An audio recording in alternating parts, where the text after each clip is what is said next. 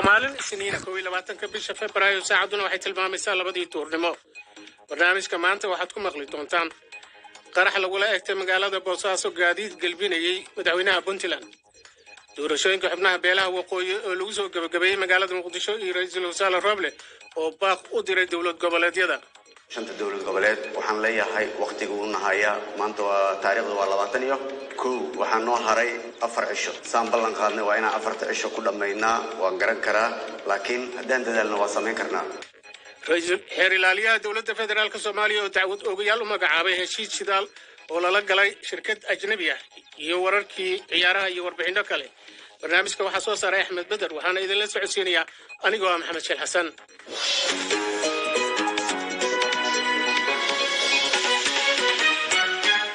qodobadaas oo faahfaahsan way soo socdaan hase yeeshee marka hore warkii caalamka iyo saxnuun axmed maxamuud. Mahadsanid shiil ruushka ayaa hoos iska dhigay codsi ah shir dhex mara madaxweyne putin iyo madaxweynaha maraykanka joe biden isagoo sheegay inuusan jirin qorshe la taaban karo oo laga wada hadlo. Goor sii horreysay ayaa wadahadal dhex maray madaxweynayaasha maraykanka iyo faransiiska waxay isku waafaqeen inuu shirku qabsoomo taas oo ay shuruud u tahay in ruushku uusan qabsan ukraine. Putin ayaa lagu wadaa inuu shir guddoomiyo maanta shirka golaha ammaanka qaranka ee ruushka si looga doodo xiisadda.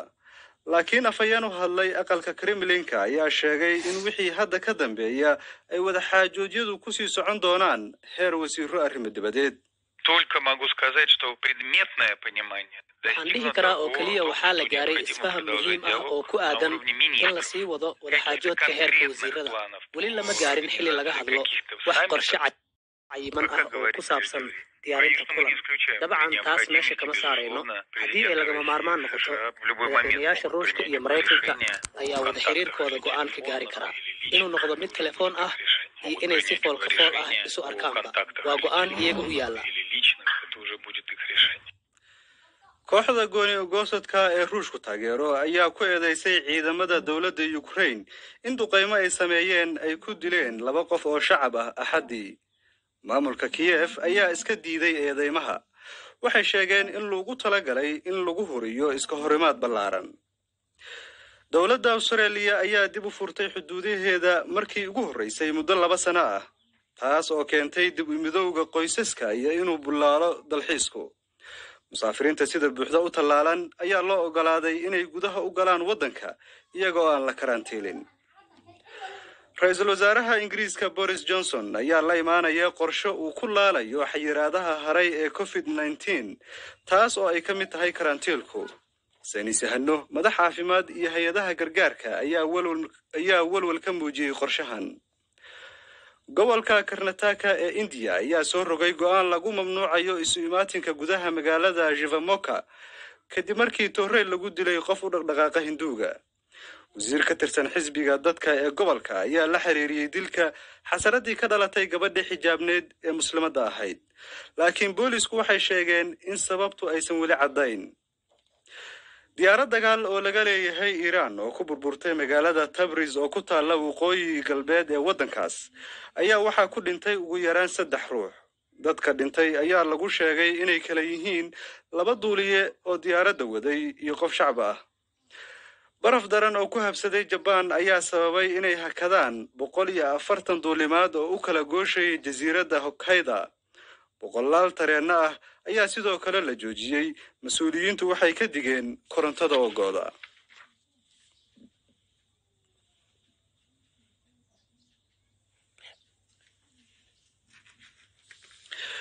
warkiina waa naga intaas. Aad buu u mahadsan yahay saxnuun axmed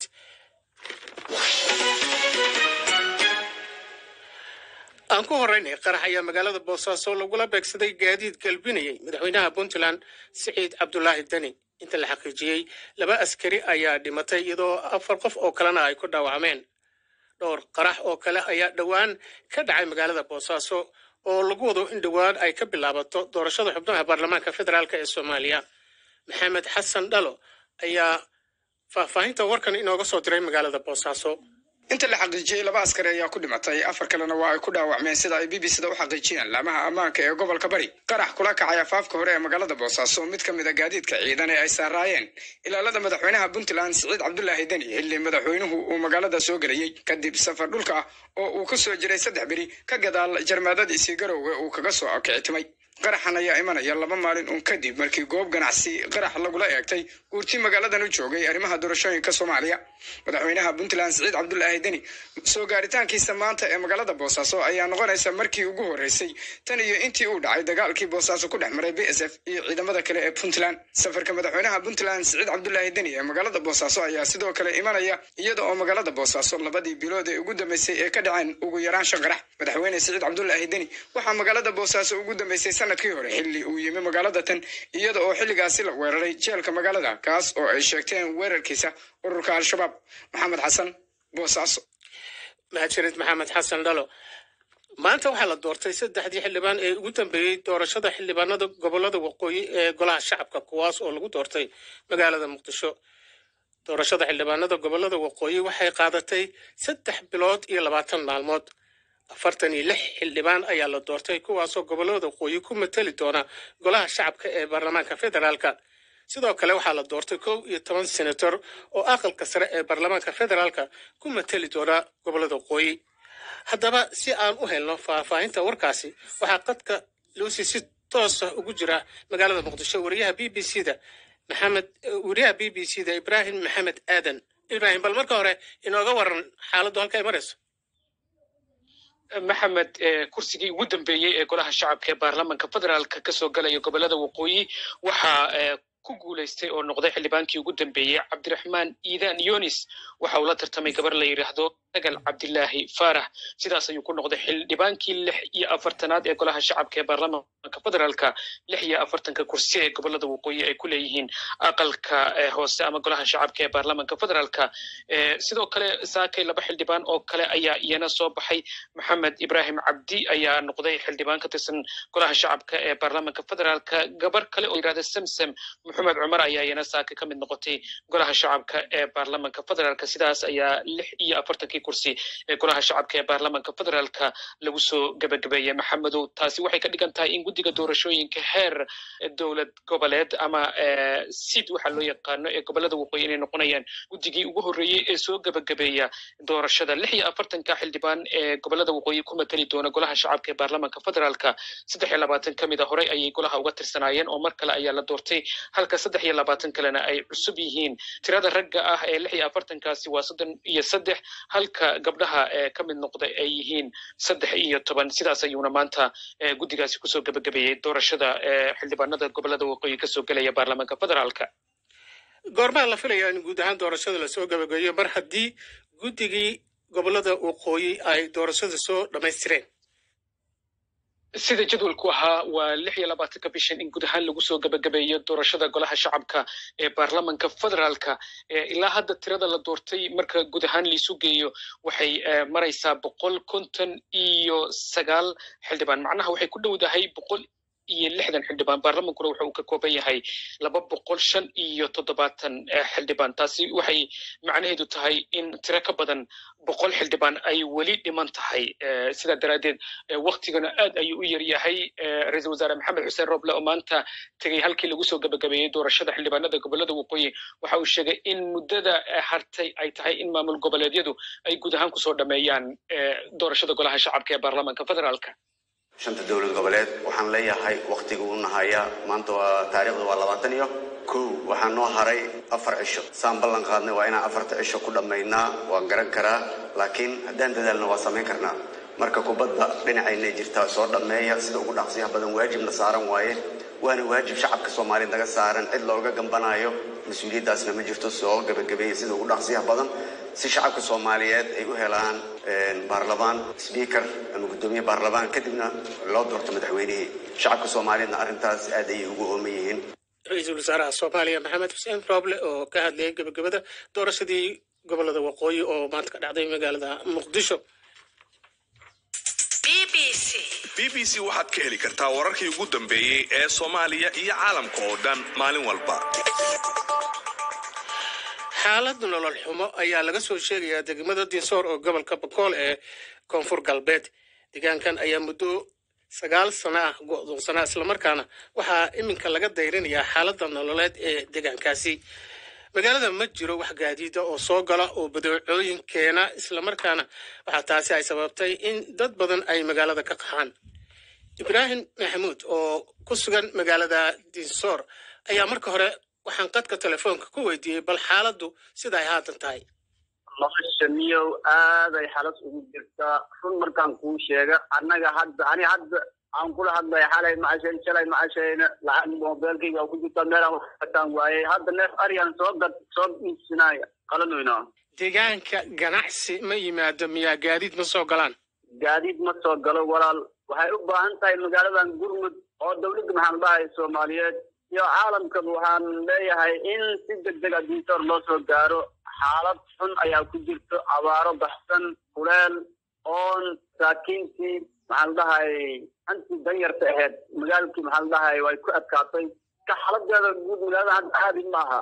Waxaan leeyahay aniga dowladda soomaaliyeed ugu horeeyay maxamed cabdullaahi farmaajo inuu magaalkan u soo taliyo madaxweynaha koonfur galbeed cabdilcasiis xasan maxamed dafti gareen de waxaan ka codsanaynaa in masaakiintan si deg dega loo soo gaaro. Haddii meesha aysan ka jirin ganacsi ka jirin shaqo ka jirin sidee nolosha lagu maareeyaa marka? Hadda walaal maxaan dhahay nimankan hadda oo magaalada san yeelay waa urur tabar yar.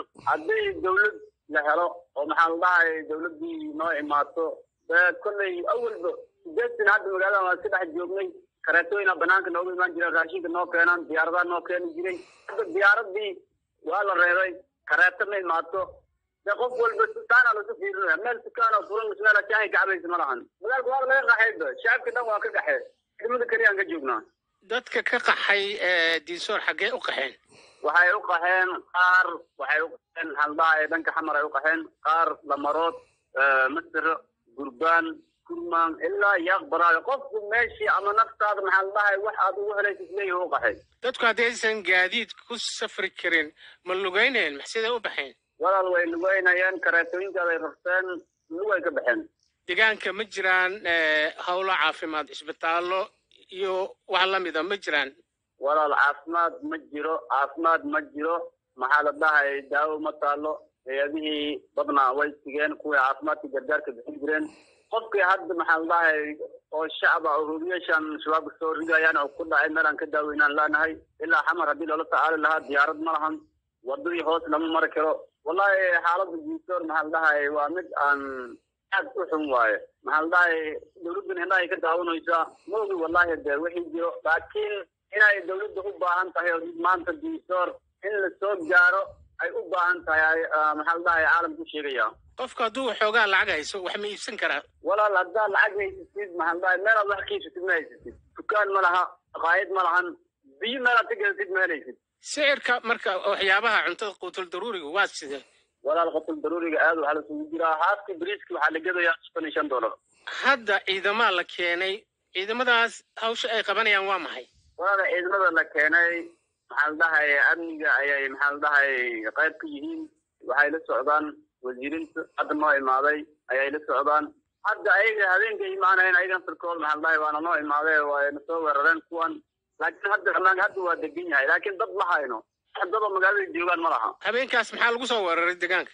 Hoobiyo hoobiyo goormay ahayd. Waxay ahayd habeenkaa habeenka saddexay ahayd. Marka waxyaalo maa ka dhalatay hoobiyaashaas walaal khasaare ilaahay nagama gaarsanin laakiin waxa waaye shacabka ay qalqal gelinayaan ummadan oo maxaa la dhahay hoobiyahan iyo waxaan ka soo tuurayaan. Marka meeqaad ku jirtaan marka xayiraadan ku jirtaa degmada dinsoor sanadkaana sagaal waa waa tahay maamulka koonfur galbeed. Wax tallaabo ay ka qaadeen. Walaal maamulka koonfur galbeed ciidamo iyo waxay noo soo direen wasiirintii xildhibaanin saraakiil ciidan. Dad dadan noo soo diray weli laakiin maxaa la dhahay shacabkiisay ku soo noqdaan gudoomiyi meesha joogayna hadda waa la bedelay hadda marka guud ahaan maxaad adinku rajaynaysaan annaga waxaa la dhahay dowladda soomaali iyo dowladda maamul goboleed koonfur waxaan ka codsaneen in maamul wanaagsan noo keenaan. Magaaladan iyadoo nabad ah oo maxaa la dhahay barwaaqo ku jirto ayaa maxaa la dhahay guddoomiyahana noo keenay. Ninka laga bedelayna waa nin muwaadin uu ahaa. Dowladda maxaa la dhahay waxaan ugu baaqayaa in maamul fiican. Masaakiinta shacabka banaankan ka baaba-ooyin oo maxaa la dhahay hoos ay harsadaan aan lahayn diidaha hoostooda taagan oo magaalkiina hoobiyuhu u baqeen inayna noo soo celiyo. Dee maamul fiicanna loo dhisaan rajaynayna haddii ilaahay markana magaalada muqdisho xeeralaalaha guud ee dowladda federaalk soomaaliya suleymaan maxamed ayaa dacwad oogayaal u magac. Oo la sheegay dowladda soomaaliya ay la gashay shirkad ajnabi ah. Heshiiskaas ayaa hore waxaa u shaaciyey wasiirka batroolka iyo macdanta ee soomaaliya iyo shirkadda heshiiska la gashay oo la yidhaahdo costland exploration xafiiska madaxweynaha iyo xafiiska ra'isul wasaaraha labaduba waxay ay heshiiskan ku tilmaameen mid sharci darra ah. Shirkadda ayaa iyana war saxaafadeed ay soo saartay waxay ku sheegtay in ay ka xun tahay in la buriyey heshiiskii.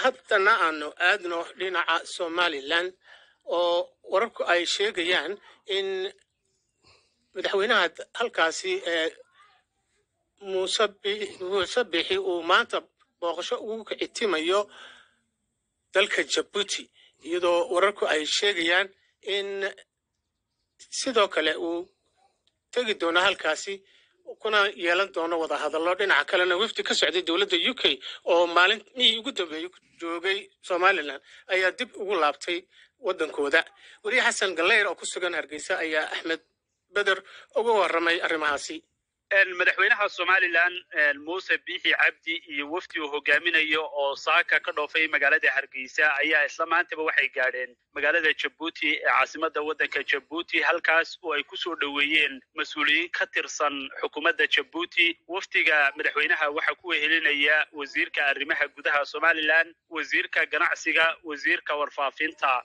ayaa ku wehelinaya qoraal kooban oo ka soo baxay aqalka madaxtooyadana. Waxaa lagu sheegay in ujeedka safarka madaxweynuhu uu yahay shaqo qaran oo halkaasi u tegayaan kadib markii ay martiqaad ka heleen madaxweynaha waddanka jabuuti.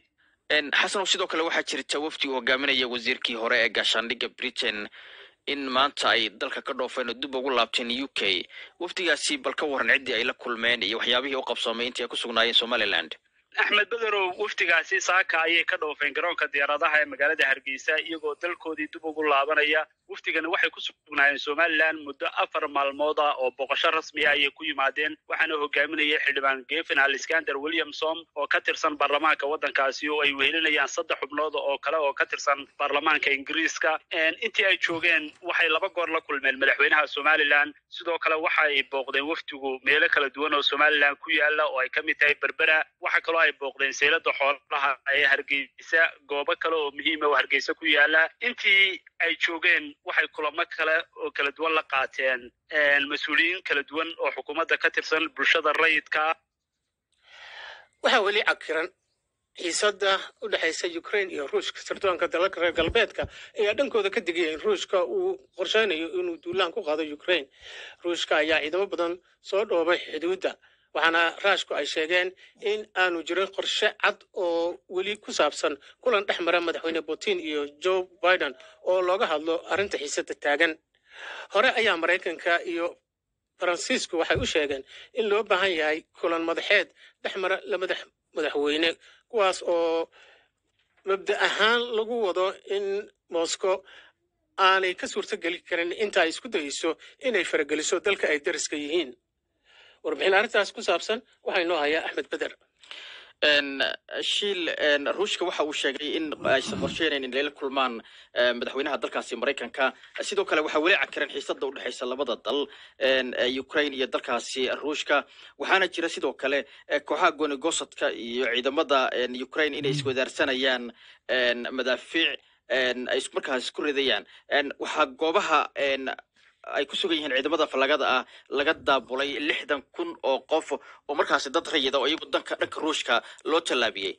Reer galbeedku waxay sheegeen in putin uu horeyba markaasi isagu u saxiixay in weerar lagu qaado ama duulaan lagu qaado dalkaasi ukraine. Balse ruushku waa ay beeniyeen arrintaasi ku saabsan in ukraine ay doonayaan in duulaan ay ku qaadaan afhayeen u hadlay kremlinkana waxa uu markaasi sheegay in uusan jirin kulan cad oo dhexmaraya maraykanka iyo ruushka oo laga hadlayo xaaladda dalkaasi ukraine. Marka xaaladda waxay u muuqataa mid cakiran mahadsanid beder wararka ciyaaraha galabta ayaanu idiin soo gudbin doonaa. Haatanna baafintii.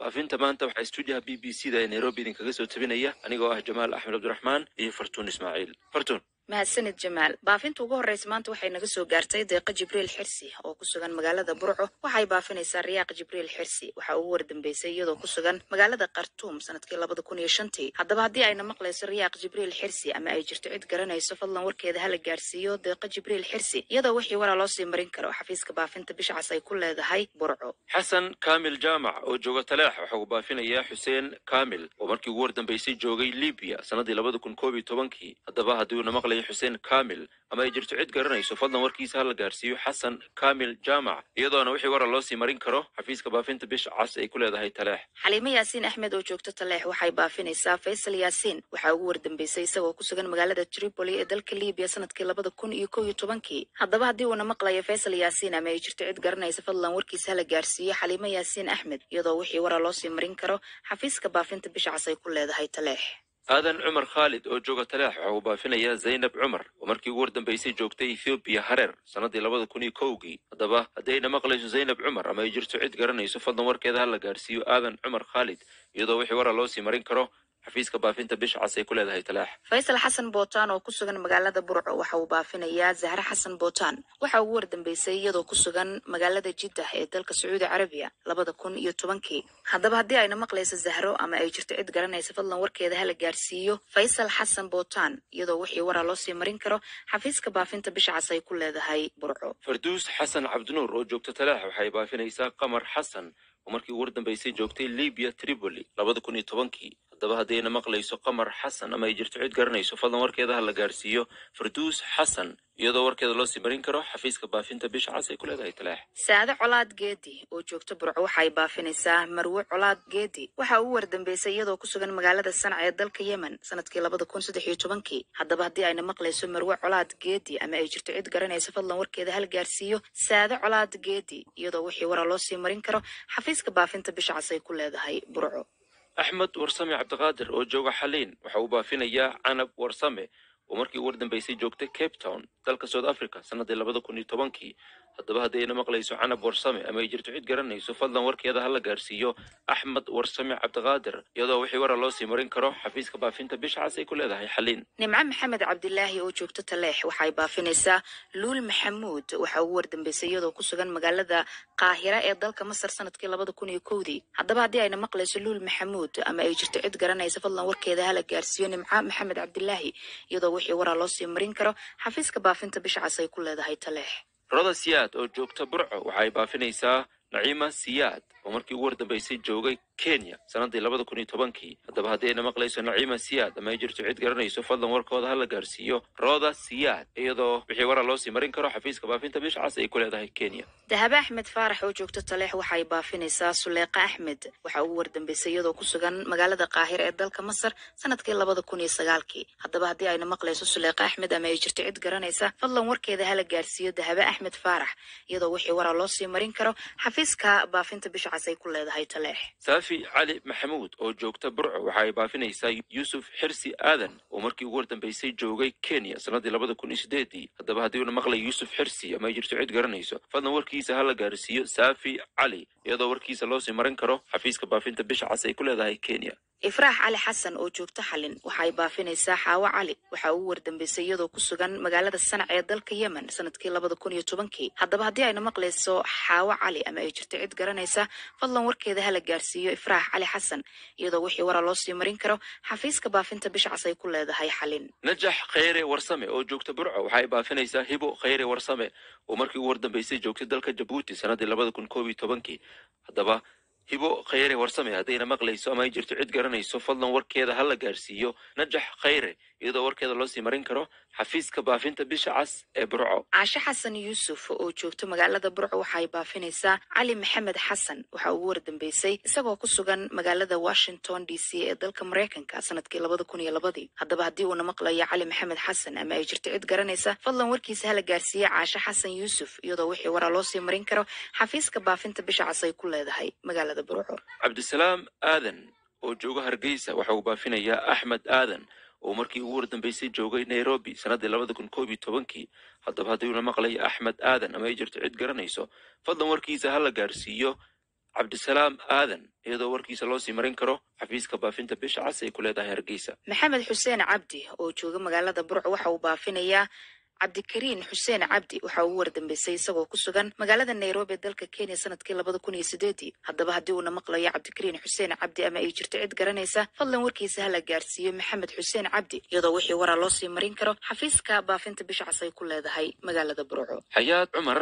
oo joogta burco waxay baafinaysaa kaltuum cumar markii ugu wardambeysay ku sugnayd khartuum dalka suudaan sannaddii labada kun iyo sideedii. Haddaba haddayna maqlayso kaltuum cumar ama jirto cid garanayso fadlan warkeeda hala gaarsiiyo xayaad cumar iyadoo warkeeda loo sii marin karo xafiiska baafinta bisha cas ay ku leedahay burco deeqe maxamed cali oo joogta magaalada burco waxay baafinaysaa caashe cali diiriye. Waxaa ugu wardambeysay iyadoo ku sugan magaalada jabuuti ee dalka jabuuti sannadkii labada kun iyo saddexdii. Haddaba haddii ayna maqlayso caashe cali diiriye ama ay jirto cid garanaysa fadlan warkeeda hala gaarsiiyo deeqe maxamed cali iyadoo wixii wara loo sii marin karo xafiiska baafinta bisha cas ay ku leedahay burco. Khadiija cali maxamed oo joogta burco waxay baafinaysaa zahra cabdirasaaq axmed oo markii ugu wardambeysay joogtay tripoli dalka libiya sannaddii labada kun labaiyo tobankii haddaba haddayna maqlayso zahra cabdirasaaq axmed ama ay jirto cid garanayso fadlan warkeeda ha la gaarsiiyo khadiija cali maxamed iyadoo warkeeda loo sii marin karo xafiiska baafinta bisha cas ay ku leedahay burco. Hodan aadan ciise oo joogta magaalada burco waxay baafinaysaa faadumo jaamac muuse. Waxa uu wardambeysay iyadoo ku sugan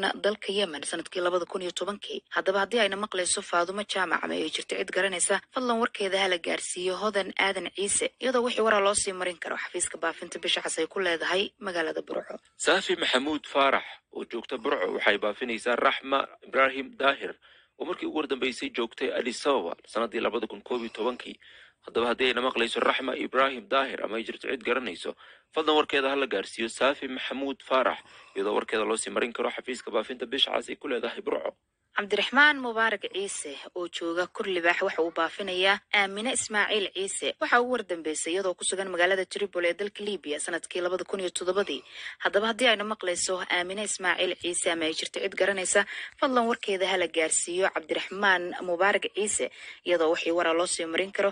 Xafiiska baafinta bisha cas ay ku leedahay kurlibaax faarax saciid maxamuud oo jooga magaalada burco waxa uu baafinayaa naciima saciid maxamuud oo markii ugu wardambeysay joogtay holland sannaddii labada kun iyo tobankii haddaba haddii ayna maqlayso naciima saciid ama ay jirto cid garanayso fadlan warkeeda ha la gaarsiiyo faarax saciid maxamuud iyadoo warkeeda loo sii marin karo xafiiska baafinta bisha cas ay ku leedahay burco. Qadre ciise cumar oo joogta magaalada burco waxay baafinaysaa nuure ciise cumar. Waxa uu wardambeysay iyadoo ku sugan magaalada tripoli ee dalka libiya sannadkii labada kun iyo sagaalkii. Haddaba haddii ayna maqlayso nuure ciise cumar ama ay jirto cid garanaysa fadlan warkeeda hala gaarsiiyo qadre ciise cumar iyadoo wixii wara loo sii marin karo xafiiska baafinta bisha cas ay ku leedahay magaalada burco. Hibo cabdulaahi xirsi oo joogta magaalada burco waxay baafinaysaa nuuro cabdulaahi xirsi oo markii ugu wardambeysay ku sugnayd tripoli labada kun iyo sideedii. Haddaba haddayna maqlayso nuuro cabdulaahi xirsi ama ay jirto cid garanayso fadlan warkeeda ha la gaarsiiyo. Hibo cabdulaahi iyadoo warkeeda loo sii marin karo xafiiska baafinta bisha cas ay ku leedahay magaalada burco bushaare nuur maxamuud oo joogta magaalada burco waxay baafinaysaa baxsan nuur maxamuud waxaa ugu wardambeysay iyadoo ku sugan magaalada nairobi ee dalka kenya sannadkii labada kun iyo toddobadii. Haddaba haddii ayna maqlayso baxsan nuur maxamuud ama ay jirto cid garanaysa fadlan warkeeda hala gaarsiiyo bushaare nuur maxamuud iyadoo wixii wara loo sii marin karo xafiiska baafinta bisha cas ay ku leedahay burco.